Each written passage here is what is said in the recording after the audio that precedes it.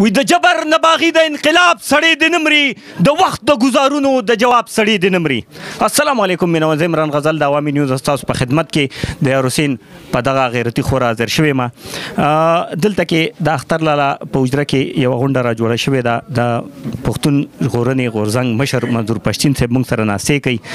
اسه خو د شخصیت چې کم دینو چانه پټ نه دي خو بیا هم د عوامي نیوز مینوال ته بس تاسو ته یو پیغام جاری کو کوم ځای سره تعلق ساتي ست تعلیم لري او پس جذبه باندې راغلي السلام علیکم وعلیکم سلام تاسو ته هم او ټول اوریدونکو ته سلامونه یو جهان مننه مونږ دا اوریدلی چې تاسو ډیر اعلی تعلیم یافته مې دا خبره صحیح ده که خپل خو مې ماستر کړی دی ډاکټر ډیګری ډی وی ام د ګومل یونیورسيټي نه تاسو ته یعنی چې مونږ ډاکټر منظور پښتین ویلی او بالکل اترایز ډاکټر یم خو البته د هغې نه پس مو چې څومره هم سټډي کړې ده مطالعه مو کړې ده نو د خپل وطن نه د غمزده خلکو هغه ګونځ مخونه مو لوستي دي رنګ وطنونه مو لوستي دي د خپل خاورې غمونه مو لوستي دي ګرځېدلي یو د وطن په هر هغه مظلوم باندې مو یعنې غږ کړی دی ورسره ناست یو اوږه په اوږه مو د دوی سره مزاحمت کړی دی نو مطالعه مو په یو اړخ باندې دا هم ده په بل اړخ باندې د دنیا هم چې څومره هم نوي بدلونونه یا د پښتون وطن سره متعلقه پالیسي چې جوړیږي په دې هم نظر ساتو یعنی معنا دا ده د خپل تعلیم نه علاوه د دغه وطن د مفاداتو د پر هر څه چې کامي شعور مونږ په جوړولای شو د غیر څه مطالعه مطالعه کولو کوشش مکړی حاجی که د ازادي اظهار رائے حق راکوي نو یو کوټلې ټک کولې شم دومره چې څومره هم سخت سوال کوي دومره زه زیات په خوشالېږم په خپل لار باندې او په خپل فکر باندې دومره واضح يم ځکه دومره کولام ګرځم نه د چا د سوال او نه د چا د څه نه ماته فکر وي چې زه د هر سوال جواب او د هر څه لرم ولې لار مو نه غلطه خوخه کړې ده نه مو غلطه کړې ده نو څنګه موږ د سوالونو نه یا کوټل سوال یا دیګی نه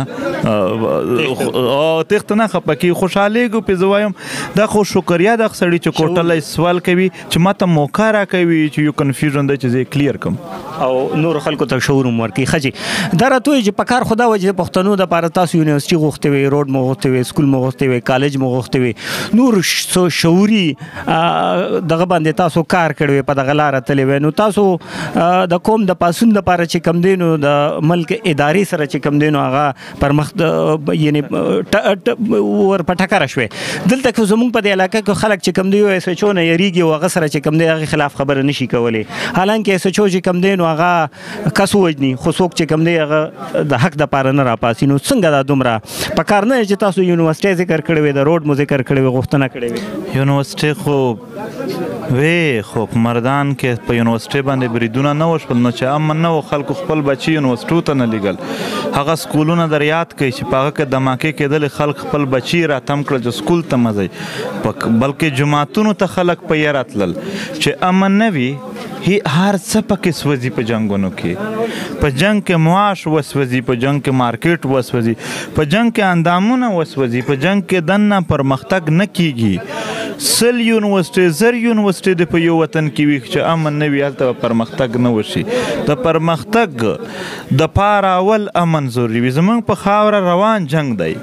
دا جنګ د چا دی د پردو جنګ دی په دې جنګ کې دنه د کام څه دی هیڅ یې نشته ته نقصان نه بغیر وطن سره لوبې کیږي او مونږ بغلی ناست وو تا د اس ایچ او خبره وکړه بیا جرنل پر لړې جرنل خو پرېږده د ټوله دنیا طاقتونه هم چې سره یو ځای کې او ټول اټم بمونه هم د په سایډ کې د بل طرف ته زما د وطن خبره وي مونږ بیا هم کو دا د پښتنو وینې جذبه ده چې د وطن خبره یې تل د تورو او د یعنی د ترهاګریو د دغه په منځ کې کړه هم دا او کوي هم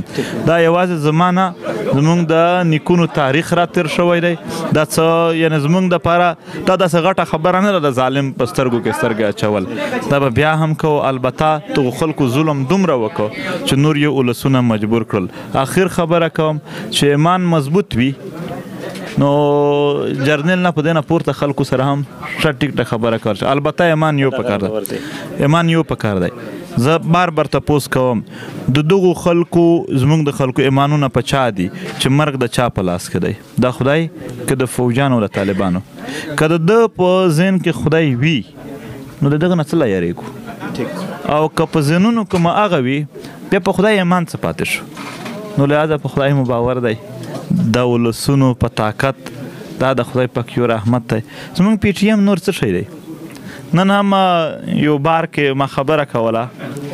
چې مونږ کامیاب یو نو زمونږ سره کرسي زمونږ سره وزارتونه زمونږ سره میډیا زمونږ سره وسایل لا خو نشته دی مونږ صرف په یو شي کامیاب یو زمونږ ولس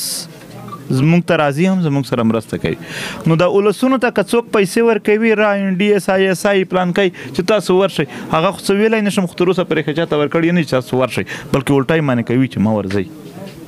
نو ورځي کنه نو دا د ولسونو په زور باندې په مخ روان دی د ولس طاقت چې کوم دی د خدای په لوی طاقت اچولای دی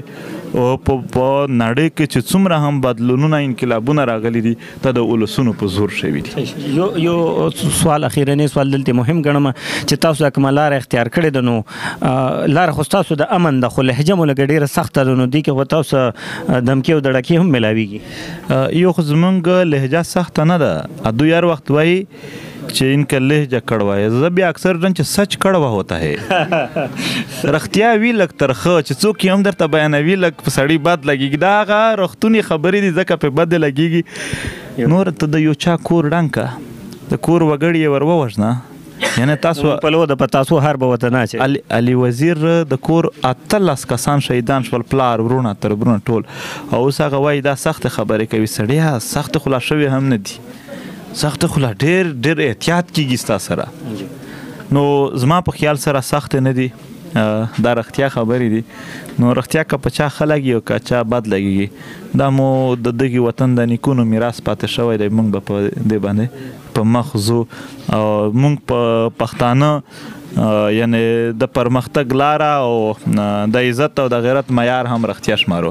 زمونږ په وطن کې اعتماد هم پرختونی سړی کیږي هر چنه کیږي نو دا زما د وطن خوې دي یو جهان مننه جی کګنې چې منظور احمد پښتين خبرې چې کم دی هغه صحیح دی نو دی به ضرور ملاتړ کوي او کنه دا غنې چې دی دا کار یا د دې د غلار ټیک نه ضرور په موږ باندې کوټلې ټکونه کول شي اوس په غړم سره سنجاز د خپل همکار کیمرمن علي رحمان سره عمران غزل عوامي نیوز ثوابه